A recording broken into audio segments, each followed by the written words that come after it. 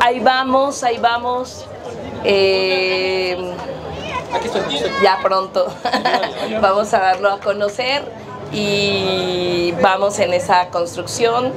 Yo pienso que en agosto ya este, tendríamos a todos y eh, puedo ya informar bien acerca, con calma.